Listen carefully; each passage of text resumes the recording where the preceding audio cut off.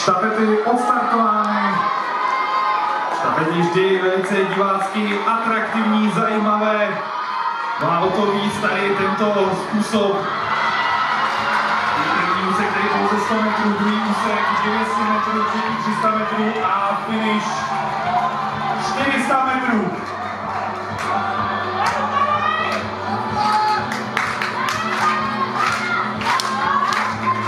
Čele tady zatím reprezentantky Polska. Na druhém místě teď přidávají Maďarky, ale samozřejmě ještě spousta, spousta metrů před děvčaty. Dobře, teď běží také česká štafeta. Na druhém místě bude úsek navíc Mára Křížová.